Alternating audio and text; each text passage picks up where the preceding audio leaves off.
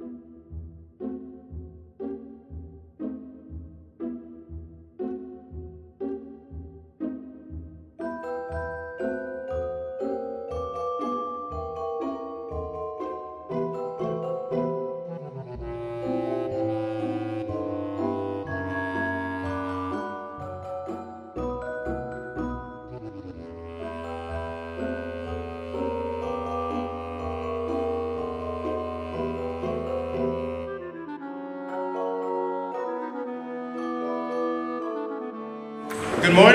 and welcome. Right. My name is Jossie Nettles. I'm the Blue Heart Class of 2022 President, and I would like to invite all my Blue Heart brothers up to the stage for the singing of the Black National Anthem.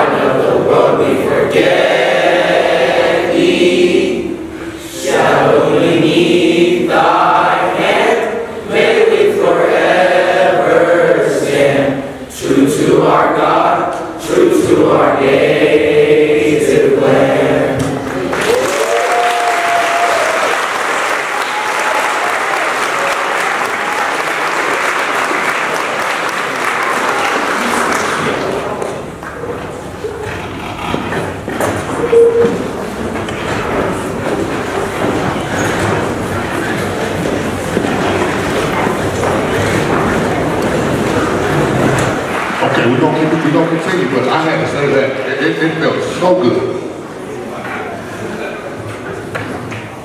Now on to the awards. The next award we're gonna be presenting is the Guardian Scholar Award. This award is for someone who is a former foster youth, current college student that is an advocate for others and a role model in their community. As in the tradition of the Blue Heart Foundation and part of their leadership training, the class of 2022 seniors will present the community awards. Yes, my name is Jossie Amir Edward Nettles. I'm a senior at High Tech High International, and I've been in Blue Heart for about three and a half years. To me, Heart really means brotherhood and just a place where you can come together and be a part of just a group of kids that look like you, right? That's what it means to me.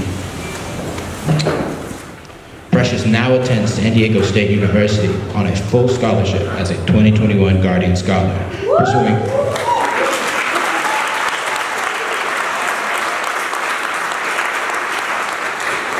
She's pursuing a bachelor's degree in psychology. She hopes to do research on the cognitive impact um, of issues with intergenerational traumas in black communities and other communities of disadvantaged backgrounds.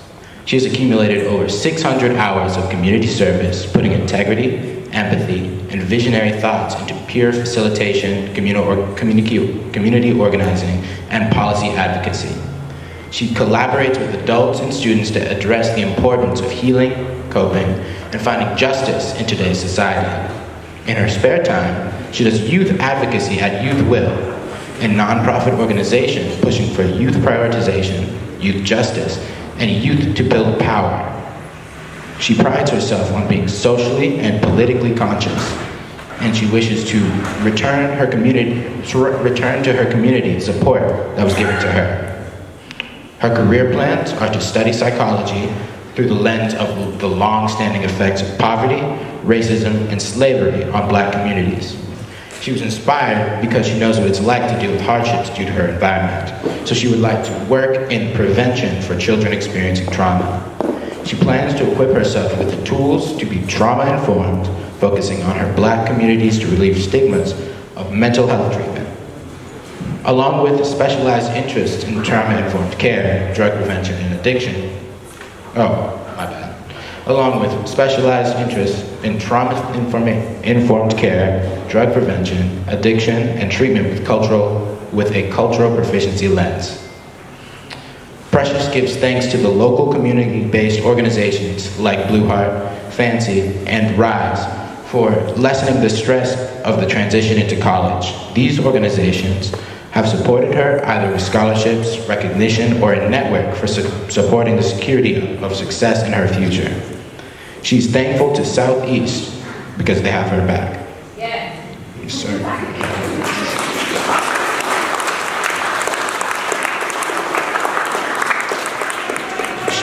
She prides herself on breaking generational cycles, making it thus far, and is thankful for all the support as it gives her access to the be the best she can.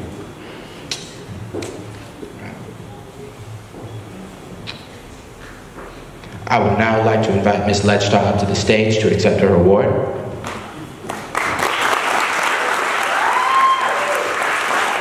I'm so thankful for Blue Heart acknowledging me uh, as a Guardian Scholar uh, this year, and I am just, this is something I hold so dear to myself and have prided myself off um, of, and I'm just honored to have that title as a San Diego State student, knowing that even beside, even through all of the things I've experienced, I'm still um, thriving, and uh, through that, I'm really excited to make a change and support my, my community, South, Southeast San Diego, and make sure that I'm putting, I put in what has been put into me, and I, I acknowledge that there's, there's been a, a lot of um, community efforts uh, put into See Me Succeed, and I am grateful to be here, and it's an honor, and it's really a reminder that um, I'm supporting myself, I'm supporting my family,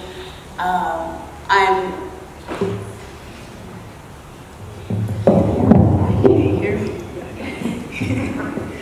um, I'm really excited to be here and I'm honored to be being honored by so many people and to have my family here. Um, there's been a lot of supports. It's been uh, my chosen family, my biological family, the community has all been a play at play at my success and throughout high school and middle school and college, I can say there's a lot of faces that are in this space that really helped me through that. Um, coming from Southeast San Diego, growing up there and really feeling like the whole community had my back. And so that's really what got me to college and I will continue to make myself proud and make those around me proud and make sure that I, I do this thing for myself and my community and uh, the future of young people. Like that's really, I, I, I feel like my story is a testimony that a lot of young people have experienced and don't have the access to get the opportunities I did. And so I'm really grateful and I want to work to better the opportunities for young people in the future. And so once again, thank you and thank you for your time. The Father of the Year award is for the fathers who uphold their role as the head of the family. There are lifestyle leaders in our community and culture who lives and whose lives are dedicated to family, charity, civility, responsibility, and reverence. Going to invite Jossie back to the stage, 2022 President.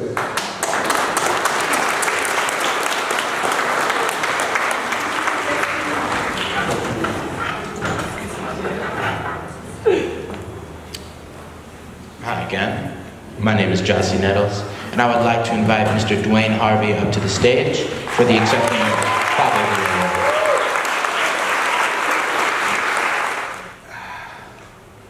Honestly, uh, I'm humble uh, because I know that this award, uh, there's so many men that uh, could have been standing in this place. Uh, I could actually name numerous men that uh, should be up here uh, before I'm up here. Um, you know, for those that don't know me, I've, I've, been living in San Diego, Southeast San Diego all my life. I have five kids, just raised, uh, raised them all in, in, in the community. Um, it's, it's, it's, it's, difficult. It was difficult um, trying to teach them all the uh, traps that's been set for them uh, teaching them how to recognize. And uh, I mean, if they were up here to say anything, you know, in regards uh, to me, they, they know that they tell you they didn't agree with everything that I did. Uh, they didn't understand everything that I did. Um, but one thing they could tell you is that I was always there for them.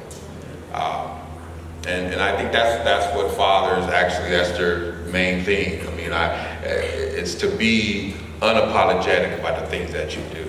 Um, it's one thing I am truly unapologetic about is my relationship with Jesus Christ. And,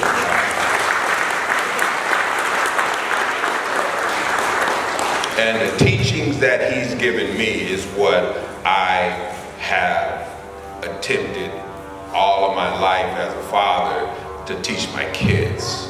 Um, and I think that's one thing as far as being men is that we need to be unapologetic um, in the way that we raise our kids and the things that we, how, how we teach our kids. Um, we should be unapologetic about that.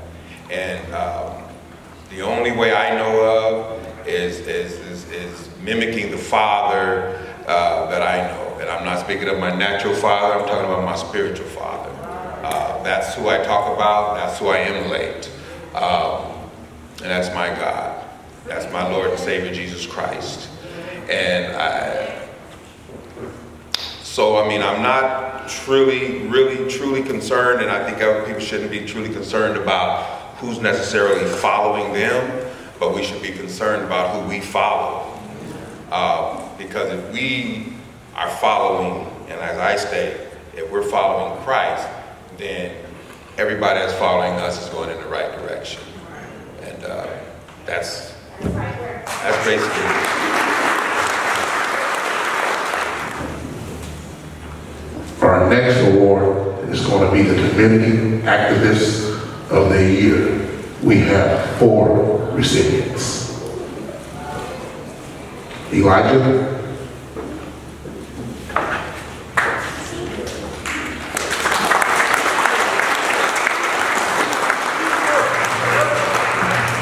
morning, everybody. I said, good morning, everybody. I'm sorry about my voice, but my name is Elijah Johnson. I'm a senior at E3 Civic High. Um, what Blue Heart means to me, I've been here for four years. Uh, obviously, during COVID, we weren't really active. But for the three years that I was here, like I felt nothing but love from my brothers. Like all these guys, I love them with my all, my whole heart. Tracy Morris, even though we get like into it sometimes, he's still like another father figure. Like I love Tracy so much, and I love everybody back here. These are like all my brothers for life. And um, for the first.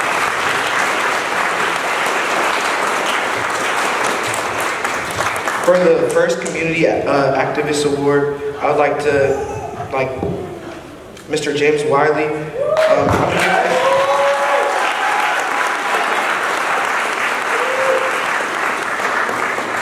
I'm gonna give a little synopsis before he comes up here.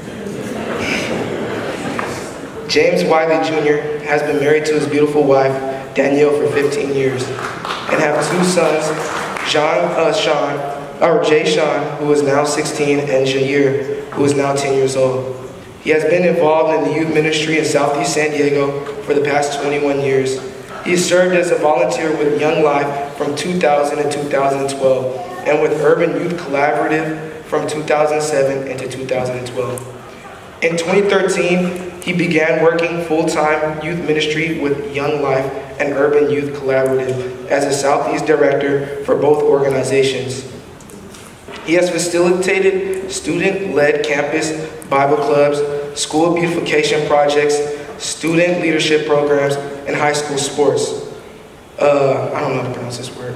Uh, with, U, uh, with UYC and has facilitated after-school clubs, summer camps, after camps, discipleships, and student leadership development with Young Life. He also serves as a campus outreach coordinator and high school ministry director for City of Hope International Church, leading the weekly high school Bible studies as well as facilitating, pre, uh, facilitating pre-game meals for the Lincoln Hornet football team. In 2018, James Wiley Jr. decided to transition from Young Life and to launch his own nonprofit youth ministry. Real Teens, reaching, engaging, empowering, loving. The purpose of Real Teens is to be safe, is to be a safe haven of love, support, and fun for teenagers while promoting spiritual growth and service to the community. The mission of the Real Teens is to present teens with an opportunity to discover a new identity in Christ. The overall goal is to run the youth ministry through a state-of-the-art teen center in the community of Southeast San Diego. Through Real Teens, James uh, facilitates monthly youth events that fulfills the purpose and mission of the organization. During the pandemic, he continued to serve our youth through weekly Bible studies and discipleships, community service projects, student leadership development, and giving youth fun and safe environments through the Real Teens Mobile Teen Center. Real Teens is always looking for monthly financial partners as he continues to strive to positively impact the lives of the youth in Southeast San Diego. Please give it up for Mr. James Wiley. Um, I am so thankful to Tracy and the Blue Heart Foundation. I love what you do. Just seeing these young men like really warms my heart because when I see them, I see my, my sons and I see the impact that you're making and um, the future is brighter. Our community is brighter because of the work that you do, so I appreciate it.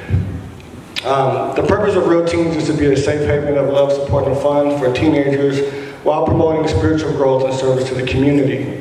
The mission of Real Teens is to present youth with an opportunity to discover a new identity in Christ. That mission is very important to me because when I was in 11th grade, I had an identity crisis. I went from a private school, St. Stephen's, from preschool all the way up to ninth grade. Um, after ninth grade, I went to Lincoln to play football, and when I stepped on that campus, I had an identity crisis. I didn't know who to talk to, didn't know who to hang with. I knew I wasn't trying to get green lighted, and I knew I was too shy to talk to the pretty girls. So I didn't know how to act, how to react, who to hang with, and I just struggled that first year and a half. And it wasn't until my second year at Lincoln uh, playing basketball, went to a basketball tournament in Vegas, came back home, and um, a friend of mine, when I got home, came up to me and said, hey, we were about to go to a party, but my friends mom prayed for us, and we gave our lives to Christ. We're starting a Bible study, we want you to come. As an 11th grader, I was like, okay, cool, I'll come.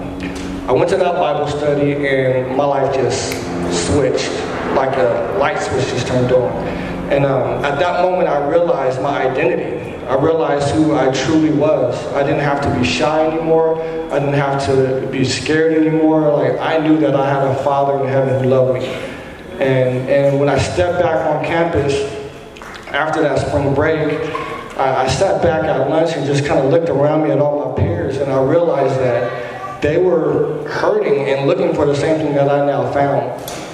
So, so that moment at Lincoln High School, I felt called by God to begin to reach, reaching out to my peers. And, and that's when life of ministry started for me, youth ministry. And as he stated, I got involved with Young Life and um, Urban Youth Collaborative doing campus uh, outreach ministry, got involved with City of Hope doing the high school um, Bible studies, and then I started my own organization, Real Teens. Um, and essentially, Real Teens, I, I want to, I, I understand the value of youth having safe spaces to hang out. I used to take kids to Young Life Camp, and Young Life Camp had about four or five hundred kids, and I would take these, you know, these black inner city kids in a room, I mean, a camp, majority white. So we would be like in this club room, and all the kids are in the middle, jumping to the music and dancing, and our kids are sitting back against the wall, just like too cool to dance, right? By day three, they're like in the middle, center of attention, just dancing, jumping, screaming, singing, Sweet Home Alabama. I mean, like they were just going all in, and um, and I realized like how powerful positive and safe envir environments were for our youth, and how how it allows their walls to come down, and allows them to be themselves instead of trying to put on fronts for their friends. Um, so that's why I want to start, that's why I've started Teens and want to have this state-of-the-art teen center, this safe place in our community, Southeast San Diego, where these kids can be daily, even on the weekends, having fun, being with their peers, and learning their true identity in Christ. So um, once again, I'm so thankful to Tracy, the Blue Heart Foundation. Thank you for this award. Uh, visit realteens.org to find out more. That's real with two E's. And uh, thank you guys once again. God bless.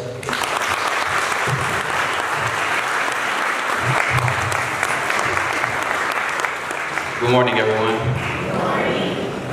Uh, I didn't really like that one though, but uh, Tracy had us up early this morning, you know, uh, still waking up. I mean, but my name is Michael Savage. I'm a senior at San Diego High School.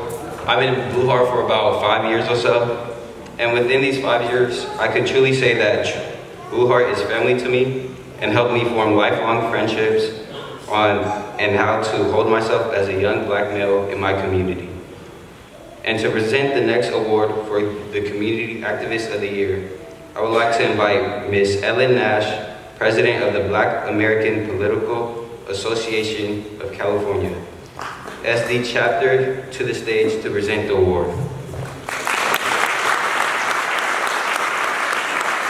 I am so um, elated and honored to be here to present the Social Justice Warrior Award to Aramik Glass Flake.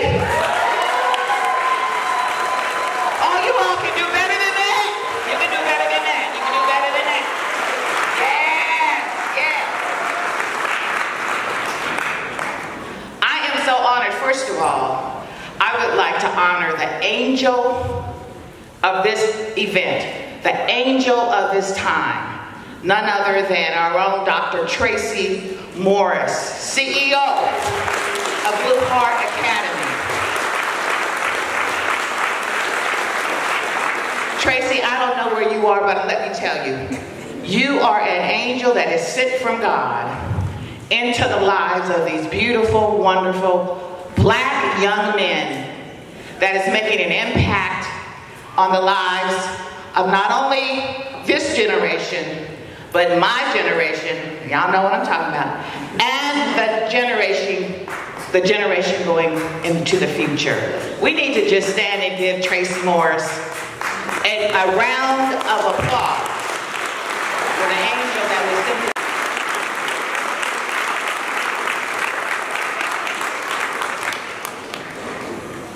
for the last year and a half or two years that I just call every morning almost, or sometime during the day. She's Mika. Many of you call her all times of the night, and we refer to her as Mika. Mika is the epitome of a true social justice warrior that stands on the shoulders of many women. I watched initially from afar for many years Mika standing for many voiceless victims of police brutality, also at the hands of the education system, in fact, all systems that impact people of color, but especially young people. Mika shows up for all people, but her passion, her passion is she fights for black and brown young people up to putting her body on the line from shutting down freeways. Y'all know, y'all seen her on TV. Shutting down freeways to getting herself thrown in jail. I now have watched her afar. But over the last year or so, I've got a chance to know her personally. This reminds me of, this, of the saying that, that uh, my parents used to tell me, you never know who's watching you. Um, I've known her for, I met her through her run for the office of Congress and the assembly in the 79th. Mika does not take no for an answer. That's what I've learned about her. She don't take excuses like, oh, it ain't your time. I'm gonna be just ghetto with y'all today. Because young people, you need to know you don't have to take no for an answer. If God has given you something, you stand on it and you walk in it and you keep fighting for what you think is right. And Mika is a great example of that kind of an attitude. I've seen her go through some hard times, from health challenges, betrayal, doors shut in her face, but she stands with dignity and respect. She comes from a lineage of giants on the Blake side that I know. So I, it's no surprise to me. And I think her dad is with us today, John Blake, who I've known ever since he was a little tiny something. But she stands on the shoulders of some great, great giants in this city and in this country. I have become a friend and a colleague of Mika. We don't agree on everything. Y'all can understand why. I'm me and she's Mika. But when I need Mika, she's always there. She's a great leader in this city. Quiet, but a great leader in this city. She's, I call her an old soldier that's been here before. She's connected to people like Lisa Lake when she started out in journalism, on the radio show with Reverend Winters, to now she's connected to chief of police. She can walk into a room and with respect and dignity, and they respect her wisdom and her knowledge and her tenacity Another likes the Chief Nisleit, um, Chief uh, of the City of La Mesa, Chief of Police. And these are the ones that she's challenging in their face, but she has their respect. They pick up the phone and they call her for advice and counsel. We have someone in the room that she does the work and she does it for free. We working on that. We working on that. Freebies is over. But the last and the most important thing I want you to know about her, she is beautiful. Literally. She's always on point. Her makeup is always perfect. She ain't gonna show up nowhere. Thank God for Zoom. She will not show up anywhere without being on point. And you women in the room, y'all know what I'm talking about. When she walks in the room, she's always, always on point. I am so honored to be able to present this award to our own young lady, social justice warrior of the year on behalf of Tracy Morris and Blue Heart Academy, on behalf of the San Diego chapter of BAPAC, and also on behalf of the Leon Williams Human Relations Commission that I currently chair. We honor you. Let's stand and give a warm welcome to our own, our own, our own. Y'all know I don't like to speak because I get too emotional all the time. Uh, me and Miss Ellen, like she said, talk day and night, in the middle of the night, 2 a.m. We are always thinking about our community. We are always thinking about the people. Um, and our relationship has just grown um, over the years. And I'm so glad and thankful and grateful to have an amazing uh, mother figure and leader in the community. Um, and so I'm so honored that you would present me this award. Tracy, thank you. Blue Heart Foundation, thank you. Uh, Tracy, over the years, has always said, I see you. Uh, I see you. He always said, one day we're gonna give you an award, and years later, the pandemic, every day, you know, everything that took place um, passed by, and I kind of, you know, I he knows I don't really care about the accolades or the awards. That's not why I do it. Um, but he held his word um, at the right, perfect time, and I'm so grateful for the work that you do, particularly with young men, um, and particularly with young black men. I started off working in the foster care system, worked in mental health for over 10 years, and I worked with so many young men who needed father figures, who needed mother figures, who needed a big brother, a big sister. So many young people who felt rejected, who felt abandoned. And to see an organization uh, really pour into young black men is so important. And despite, and I just want to say this to every man in the room, every black man specifically, every brown man, more particularly every young black man. Um, you are so necessary, despite what society says. You are so needed. You are so wanted. Your masculinity is not toxic. Your dominance is not demeaning. You are so powerful.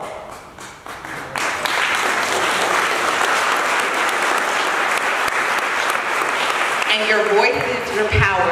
And every time you show up to use your power, I will be there fighting for you. And that's why I do what I do. There's three people that I am dedicating this award to. Many times people ask me, why do I do the work that I do?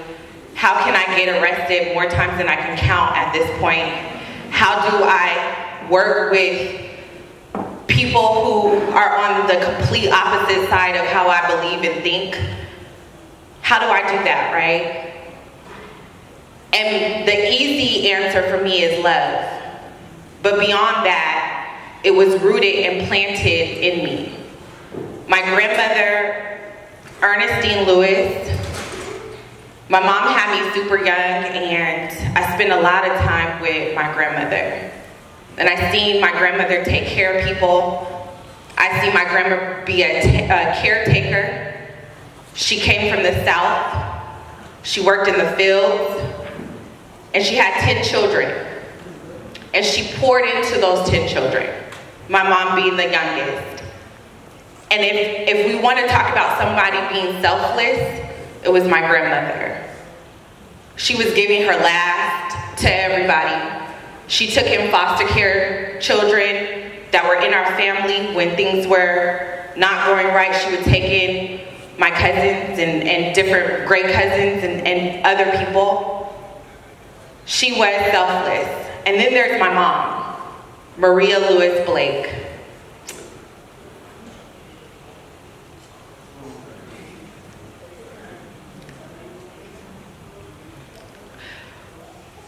My mom was the most giving person you could even imagine. And our bond was through giving. We had a rough start. Like I said, she had me really young. And we had a really rough start. But my mom became my best friend.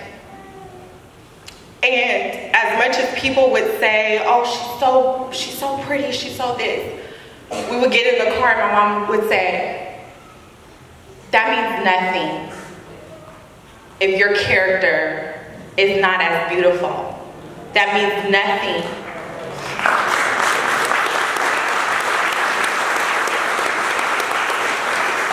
if your attitude and how you treat people does not reflect what's on the outside.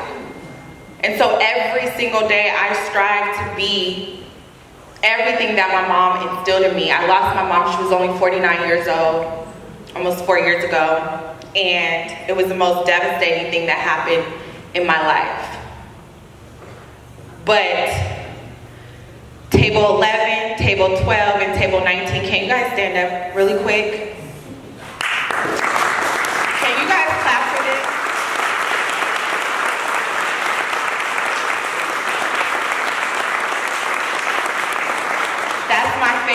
That and extended family, you guys could have stood up too. Uh, they are the ones that support me. I went through um, last year, I, and I don't, I don't hide this. I was, I was physically dying, and um, my family showed up. They rearranged their schedule. Um, they understood my need to shut down freeways and still do what I do. And then they would drive me to the hospital and stay with me at the hospital. They are the ones that allow me to do what I do. They are the ones that hold me up. They are the machine. I'm just the spokesperson and the face of, of certain things, but they are the machine um, behind me and, and what keeps me going. So I never get to publicly thank you all, but I just want to say thank you to my family, and I'm taking this opportunity to say I love you guys, and I, am so grateful. And so I'm gonna go, my time is up, but I just want to say this. My activism is my ministry. And I think God requires us to give our all while we're here. Life is too short. And so we all need to be leaving this earth with nothing left. So this is just the beginning for me. I'm going to leave here with nothing left and continue planting seeds in young people. Thank you. You guys are hungry, but there's a couple more awards to go around. So I'm introducing Starla Lewis for another Community Activist Award. I'm going to be sharing her synopsis. Um, so here we go. Starla Lewis is a global educator of self-love. She teaches people how to see themselves, loves themselves, and use love to address life issues. As a professor, uh, emer emeritus and transformational speaker, and the founder of CEL, Celebration of Everlasting Life and Love, Consulting. She lectures and facilitates trainings on life mastery, diversity, racism, sexism, and women's empowerment. Starla's 40 plus years of research and experience in African American studies, oral communication, and women's studies have enhanced her ability to engage diverse communities and inspire people to transform, transform their lives. She is the author and illustrator of um, Sun Kisses and multicultural, uh, multilingual coloring book for children and adults, and the co-author of I Am My Own Self-Validation. Starla Lewis is a seven-time recipient of Mesa College Teacher of the Year Award, a 2015 Women's Hall of Fame honoree, and was recognized by KPBS uh, as a local hero. In 2019, the San Diego City Council proclaimed December 20th as Professor Starla Lewis Day. In 2021, the organization LEAD. San Diego honored Starla Lewis for embodying LEAD's core values of service and impositing excellence in the community leadership by awarding her with the LEAD uh, Graduate of the Year Award. Starla has dedicated more than four decades of her life teaching people love and life skills. Through her work, she affirms that all people are brilliant, powerful, limitless with love. May please introduce, I mean, please clap it up for Miss Starla Lewis. You know, um, I'm a teacher. Never planned to be a teacher, didn't like school. But I feel that a teacher isn't someone that gets training. It's someone that comes into a classroom, recognizes and sees the brilliance and the people sitting out there, and then pulls that genius out of them. My job is easy. And I say that because when I walk into a classroom, the first thing I say to the students is, I teach because I love you. And what I realize when I say that is they listen. You know, I think it was Maya Angelou who said people don't care what you say, they care how you treat them. And when we recognize the genius in people, then that genius is allowed to flow. So first I want to recognize because I am so, so committed to our young black men. I'm going to ask the blue, where'd they go? Oh, there they are. The blue heart young men to please stand and repeat after me. Wherever you are. That's okay, but they're in the room, right? Wherever you are in the room, please stand and repeat after me loudly. I am brilliant. I am brilliant. I am powerful. I am powerful. I am limitless. I am limitless. I am love. I am love. Give them a hand.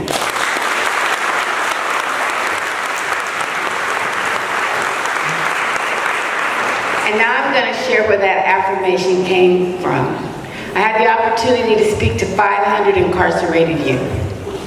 And right before I went on stage, a young black man who was an attorney and I had a conversation. And I said, you know, you attorneys should get together and teach these young black men the law because many people break the law without even knowing it. And he said, these kids are here because they belong here. And my heart sunk. Because if the people who are here to help us believe those things about us, then where is the help going to come from? Well, I had a great, great, great Aunt Kate who was born in 1880 on a plantation in Missouri. She was my best friend, and I call her my first black studies professor because she was living history. And what Aunt Kate taught me as we were desegregating schools in Missouri in the 1950s, where she said, child, when you go to school, there are going to be some white folks who hate you simply because of the color of your skin. And they're not going to want to see you do well. She said, some of them will do it out of meanness, but most of them will do it out of ignorance because they don't know who you are. She said, child, you got to be your own self-validation. And armored with those words, racism ain't but a thing. Do you understand? We don't have to be traumatized by it. We're only traumatized when we believe the messages that come from it.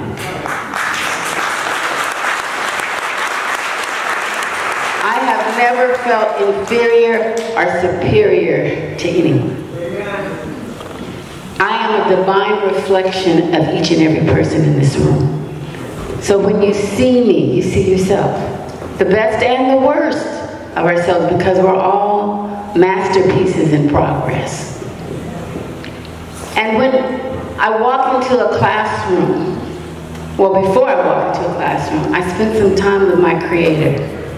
And I say, God, let me say what the people need to hear. It's more than just studying and becoming an academician, that's fine and that's good. But we have words that come through us. And we have to surrender to the source where those words are coming from. And when you do that, you impact the lives of people because it's a truth that's coming through you. Do you understand what I'm saying? And it's so important that we know this. I teach black studies. And why I teach black studies is because when I was in the community college system at 18 years old, that was the first time I learned about myself. I, had gone to school, had a high school diploma, got good grades, and knew nothing about myself other than what great great Aunt Kate taught me. And I'm telling you, in 2021, the students are in the same condition when they walk into my classroom. And they've been through 12 years of school. When my daughter was 14 years old, she put her hand on her hip. And she said, Mom, why do you make us go to school? You know better. I'm saying that education starts at home. And it starts with parents educating themselves about themselves so they can educate their children about themselves so their children don't fall victims to the myths, lies, and stereotypes of the society we live in.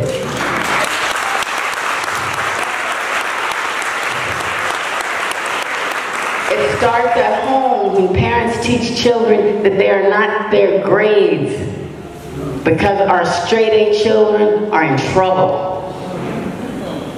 Do you understand that? When we talk about at-risk kids, we better say all of them. And it's so important because, and I know I'm running out of time, but I was at the barbershop. And the young men were talking about how do we save our gangbangers. And the answer that I gave them was the same answer for how do we save all of our children. And that is to teach them who they are. I am a masterpiece because I was created by the master. I am my own self-validation because I'm listening beyond myself. Great, great, great Aunt Kate was my church buddy. I spent all day in church, y'all. I was the only grandkid that would do that. But it wasn't because of the building.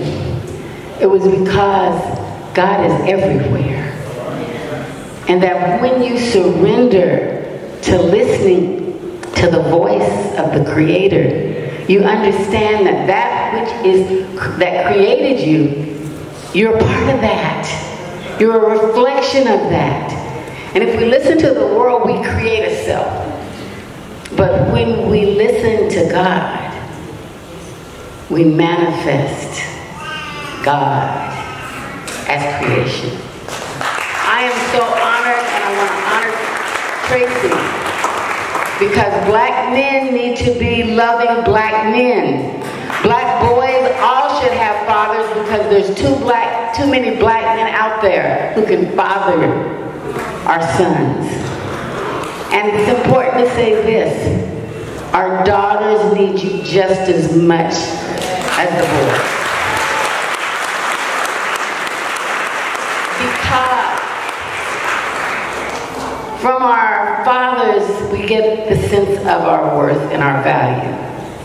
They they're the first men that call us princess. They're the first men that tell us we're beautiful. They're the first men that model for us how we're to be treated. And you can look at the state of our young women to know, daddy, step up. Men, step up. We're more than these physical bodies. We are the spirit that was created and placed in these bodies. And so I want to say to Tracy, we got to do some young black men and some young black women collaborations. Because these young black men live in a society, in a world that tell them that women are here for their use. And we have to help them understand that you come through a woman. And that a woman is the womb of life. And nobody gets here. And that's by divine design. Can we see ourselves in each other? Can we love one another? Can we love, support, protect, and elevate one another? Because we are all masterpieces. Thank you.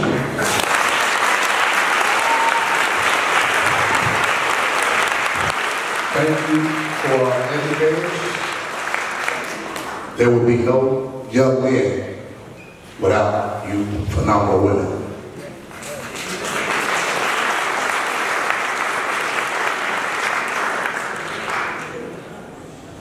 Good morning. I tell you this morning, I feel like I've been in church. This has certainly been an exciting moment for me this morning. I've heard so many beautiful speeches and so many beautiful sayings, but what I loved most about what I've heard this morning, that it seemed to have been truly from the heart that we are here to make a difference, that we are here to make sure that we don't leave the world the way that we found it, that we are going to be better than ever. And so this morning I stand before you to introduce to you a young man who has found his place or is still looking for some of the things in his life, but has found a place that he can make a difference in this world. I'm going to introduce him as Jeffrey, and he's going to come up and tell you his last name. And when he does, then you'll understand why I said that. I won't even try to pronounce his last name. I've known Jeffrey for about four years, and I called him my son. And my mother always said, you know, if you don't really want to, me to tell you what is right, don't call me mama. Because mama is truly going to tell you what is right. Jeffrey was born in Rwanda. Now I heard the young men, saw the young men up here this morning singing the Black National Anthem and they were talking about the motherland. Well, Jeffrey was born in the motherland of Rwanda. But then he came to America. So we have a part of our heritage here with us on this morning. He came to America and he came here running and came here doing what he saw a need to be done. Jeffrey is a community organizer with the San Diego, lead community organizer with the San Diego Organizing Project. And many of you, if you do not know what the San Diego Organizing Project is, we are faith-based grassroots community organization, and we teach people and train people to help their own selves. We help them, if there's a drug house, we teach you how to close that drug house next door to you. If you need a stop sign, we teach you how to do that. We teach you so that you can be your own advocate. And so what Jeffrey has done, he came in with the San Diego Organizing Project, and through the San Diego Organizing Project, we have done such things as High Tech High. Many of you may not know, but it was because of the San Diego Organizing Project that High Tech High is in existence on today. That gets lost in the rhetoric you know, but it's because of that, and we wanted it in Southeast, but we didn't have the money to do it, so it's not where it is in Point Loma. But Jeffrey is a part of the San Diego Organizing Project that has 32 churches and 70,000 families strong. Jeffrey is also co-founder of the Hear Us Here, a platform to highlight unfiltered, unapologetic, and unwounded Black San Diego, San Diegans' voice and hear their perspective. There's a scripture, Jeremiah 29 and 11 says, For I know the plans that I have for you, Jeffrey, to give you hope and a future. So with that, Jeffrey has also entered the 2022 Black Studies Fellow at UCSD. Let's give him a hand.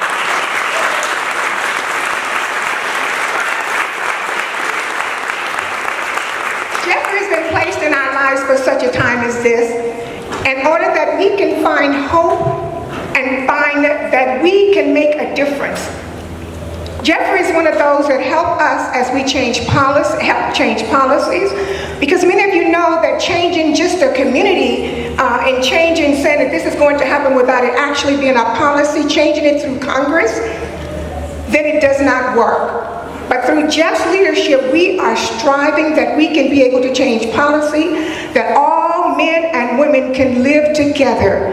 And in our community of the, of the Southeast San Diego, that we will be a community that is looked up to and not down on. We are, we are motivated and we are excited about making sure that we have a community that you will say, I am from Southeast San Diego that I am a part of the fabric and the thread of that community.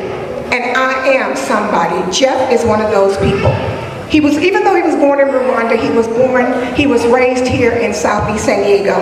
So I say to you this morning that for such a time as this, Jeff has been placed in our lives.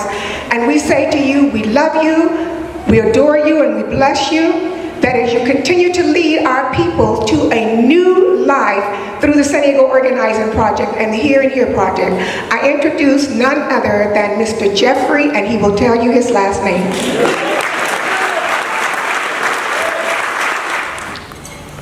Oh, this is real, huh? That's good. That's good. You see it and then you're like, oh, it's present, it's happening. Uh, first, I want to say Miss Tammy runs a tight ship, as we can tell. Thank you to her, to Tracy, and to the Blue Heart for putting this on. Uh, we need moments like this to celebrate, so can we clap it up for them?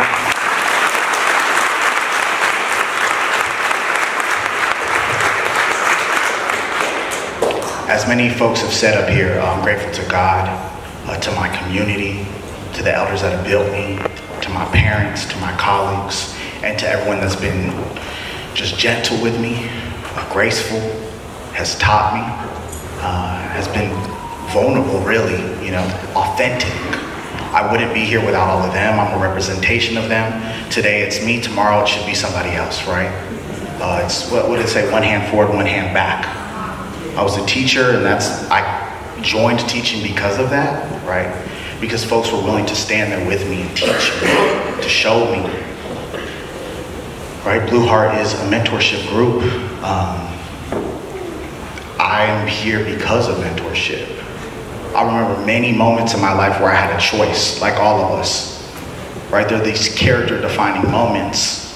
And I wouldn't have made the right choices if I didn't have my mom in the back of my mind, right? Saying, this is what you're supposed to do. I don't want to hold you hostage too long because I know that there's uh, some fruit back there calling you. So I'll say two points. Uh, the first one is to me, activism and organizing is about relationship building. It's about being truly with people, not with the idea of them, not with the physical being in front of you, but connecting with a spiritual vessel right? And that takes putting aside the thing you have to do in an hour, the challenge you had faced that morning, that moment, that, mo that morning, excuse me, and being fully there with them. That's what we do. A lot of the folks that spoke today, whether they use the title of organizer or not, they're organizers, right? And all of y'all inspire me. Even if we don't get to talk every day, I see you, I see what you're doing. I'm like, all right, let's run it. Let's go, right? It's inspiring. We need that. Iron sharpens iron, and San Diego is a city on the map. And we have to remember that. Let's clap it up for all of us.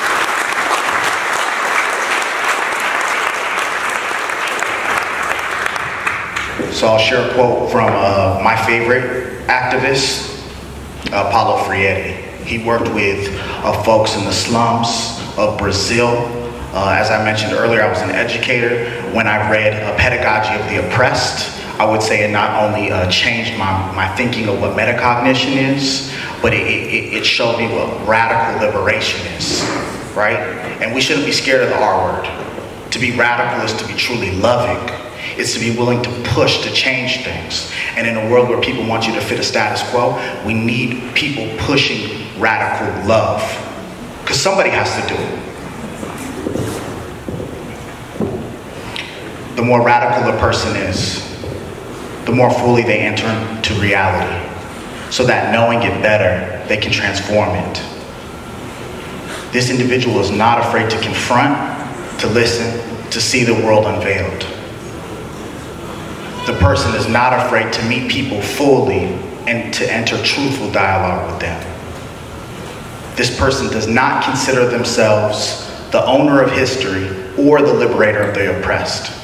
However, they commit themselves to fight at the side of the oppressed. That's why I'm here. That's why y'all are here. Let's do this work. Thank you.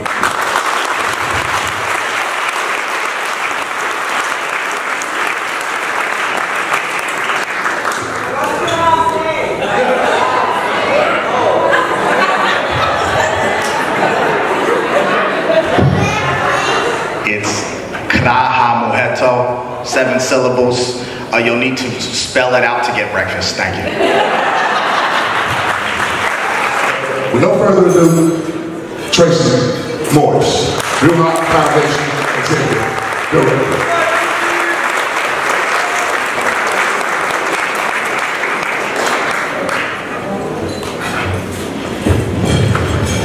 So, um, good morning, everyone. Morning, morning, morning. Morning. I'm not going to say, hey, say good morning again, because that's what every pastor says. So, that being said, um, I had this long keynote about, you know, change and mindfulness, but uh, I think I really want to talk about some of the mothers that really support the Blue Heart Foundation, because um, we could be, we could do nothing without them. So, we're going to honor them today. And we're going to start with Miss Shanae Anderson. Miss Shanae Anderson Walker, whose son came. Come on. Oh. No, no, no.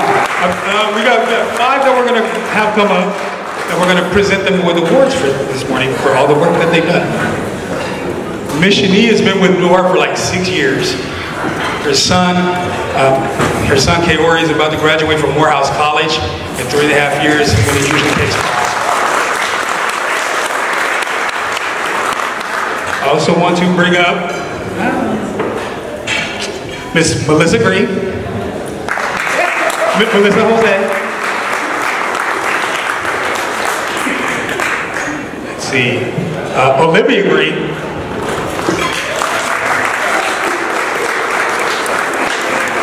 M. Julella Nettles, as well as Kiwana Johnson.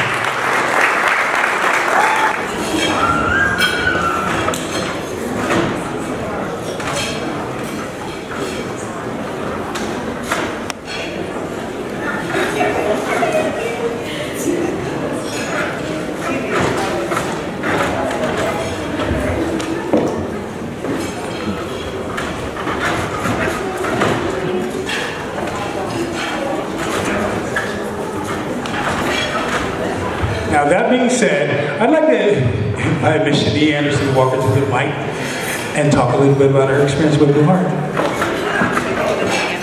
On a HBCU college tour, um, he fell in love at Morehouse and will graduate this year, which is super exciting. Um, I'm the reason Blue Heart is open to sixth graders now because my younger son had to be at everything his older son was at. So he's been here, I think it's like seven years. He as a sixth grader. Um, I just made him go, and Tracy was like, "We don't have kids that young here. They don't know how to act." And I'm like, "Well, he's coming because we have to be here anyway." So a few years later, Blue Heart opened up for um, seventh. Do you have seventh, sixth? What do you have? Yeah, seventh graders. So um, I think my little crippled younger son over there has been the longest member of Blue Heart. Um, Mr. Tracy, being a single mom, it is challenging to find positive male role models that look like your children, that will uplift and support them. Um, we were really lucky when we moved here from the Bay Area. We just fell into the City of Hope International Church, which became a second home for a long time. Um, James Wiley has poured into my children for umpteen years. Um, it takes a village, literally takes a village. I always say it's only by the grace of God that my kids are who they are because I was a child when I had kids. I had no clue what I was doing. I just showed up every day, committed every day, my entire life to allowing them to discover their power and who they could be, regardless what the world told them they would be. So I'm extremely thankful for the Blue Heart Foundation. Like I said, it's been our second home. Um, they've exposed my kids to things that they never would have been exposed to otherwise, so I'm forever grateful for that. Um, it takes a lot of donors and community support, so I'm thankful for anybody that's ever poured into the Blue Heart Foundation because I can remember at the very beginning, I think our first year here, there was eight, eight or 12 members. So to see it at almost 50 now is huge, and the growth wouldn't have happened without people pouring into it. Um, Mr. Tracy has given it his all at moments, literally gave more to these boys than he gave to himself, which being the Miss Love Wins who pours into everybody, I know the emptiness that that leaves you with. So I'm forever grateful for you pouring into my children because without the support of everybody, like I said, my kids wouldn't be who they are. I'm just blessed to be the person that guides them through life, but it's literally been a village that has helped into these young men. I'm forever grateful for the Blue Heart Foundation, for amazing mothers that I've walked this journey with, and to see our kids go to the next level and become people that this world never thought that they would be. So thank you, Mr. Tracy. So I just wanted to make sure that we thank these mothers who have like been there more than anybody.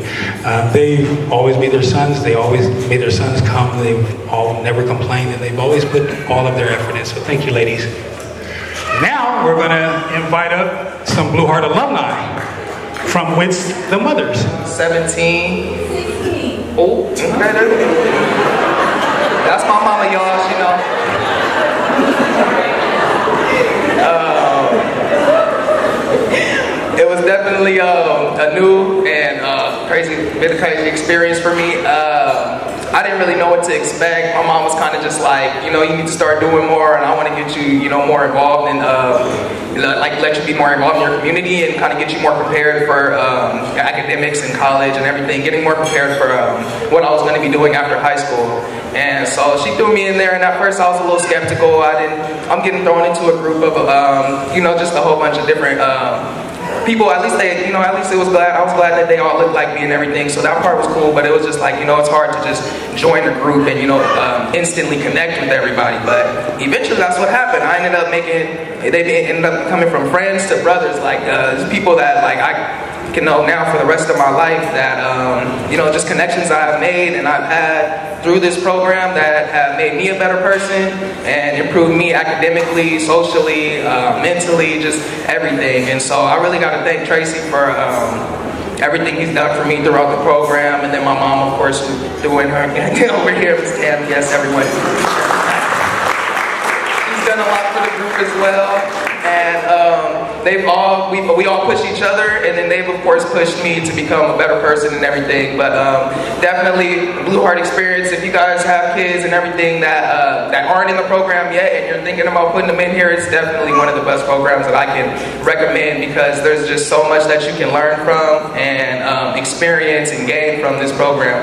And it's just definitely a great part of um, i'm glad that i was able to be a part of it and that i was able to do a lot of stuff for my community um, through this program program and make the connections I've made, um, networking and everything like that, and learning how to network and everything. And it just really introduces you to, we've done everything from learning how to do our finances and everything out of college to uh, just learning how to be more prepared for college to getting job interviews and everything this program. It has almost everything that you need to be prepared for the, uh, the real world. And I'm just glad I was able to experience it. Thank you, everybody.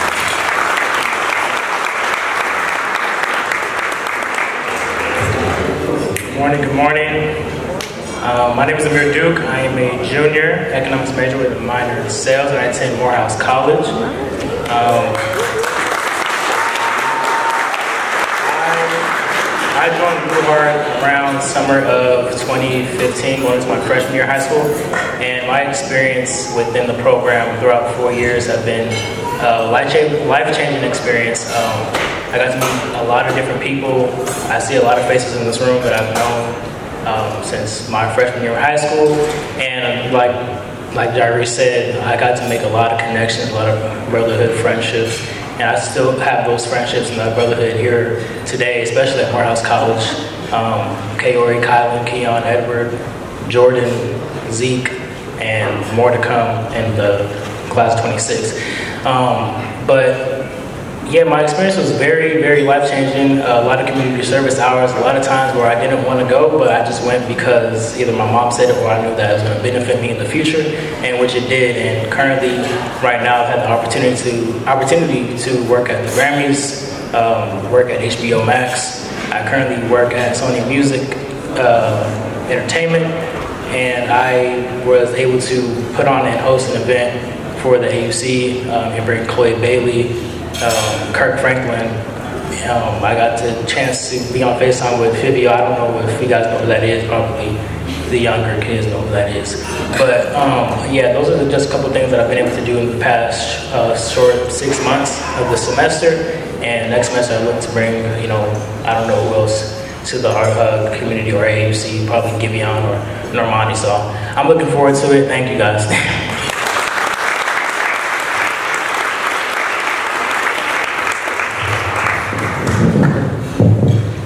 Uh, good morning, everyone. My name is Edward Chanel. I am a sophomore C-Teams major at Morehouse College. Um, my experience, um, I joined Blue Heart around my sophomore year, my sophomore or junior year of high school. And my experience, it was really good because at first I thought I was really skeptical about it because my mom was like, I'm gonna put you in this I was like, for what? And she was just like, it's just gonna benefit you, and it really did because it helped me um, learn to step out of my comfort zone. And I was the president for, what was it? 2020? I think so. Yeah, I was the president for 2020. Um, so that really pushed me way out of my comfort zone because I had to do things that I wouldn't normally do if I wasn't the president. And I just want to thank Tracy for putting me in that position. And because I probably wouldn't have volunteered for that. So, yeah. Thank you again. Thank you.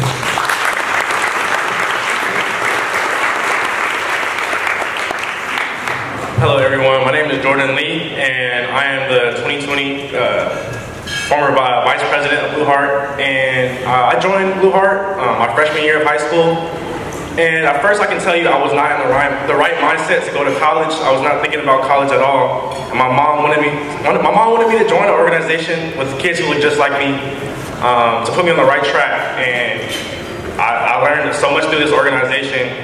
Um, it put me on the right track because we learned so much. We went to many different workshops, learning from doctors, lawyers, entrepreneurs, and it basically opened me up to opportunities that I didn't know a young black man like myself had. Um, you know, um, we didn't, we learned so much through that, throughout this organization. And another one um, important aspect that I learned from this organization is that networking is very important. And I believe that this organization has put me in the position to do so, and has also taught me a lot um, about that as well. Um, so I just want to thank Tracy for uh, being there for me um, and being the mentor that I could that, that just helped me throughout the, my years of high school. Um, and now I'm going to uh, Cal State San Marcos, and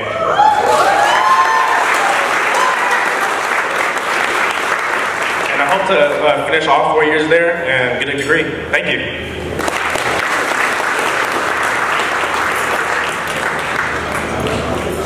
Testing, testing, one, two. Hello, my name is Jermaine Salmon.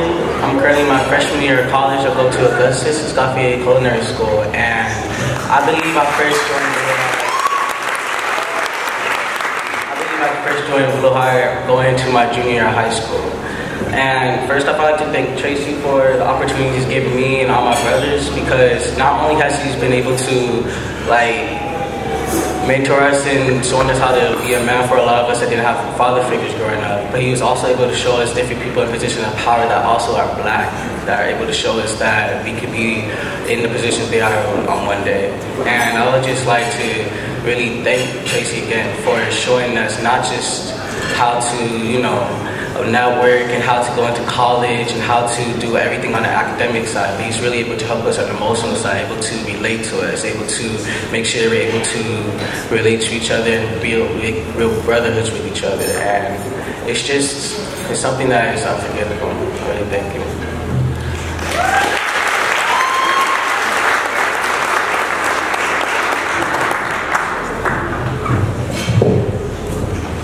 Good morning, good morning. My name is Isaiah Hubbard. I am currently 19. Um, I joined Blue Heart around my junior year of high school. Um, my experience with Blue Heart, uh, it, was, it, was, it was good. It was good. Towards the end, um, our relationship with Tracy uh, grew a lot. Really grew a lot. He pushed me. He pushed me. He really got me out of my shell. Uh, if I didn't join Blue Heart, I probably wouldn't never be able to hop on a stage and talk to a crowd like this. Yeah. So Tracy, yeah, I really want to thank Tracy. Um, I'm currently, I took the uh, community route. I'm currently at Mesa College. Um,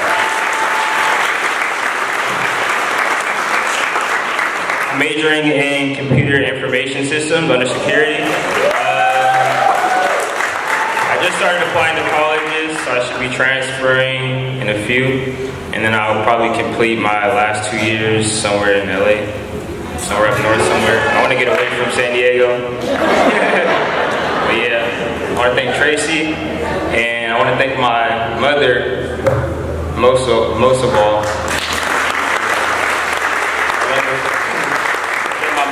and Tracy, and thank you guys for uh, taking your time to listen to me. Thank you guys.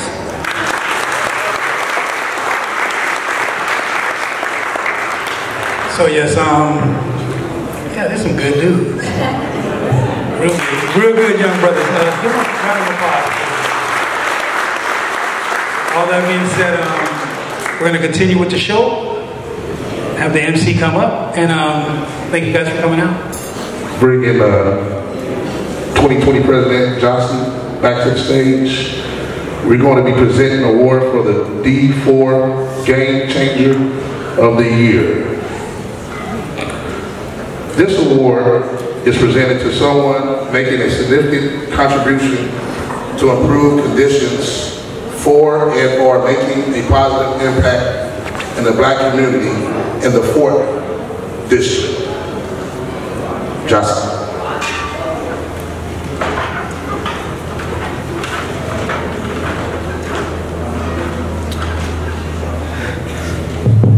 Y'all getting sick of me, huh?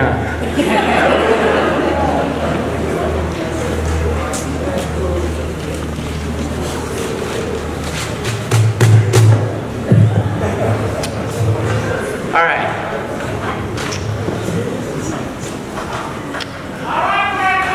All right.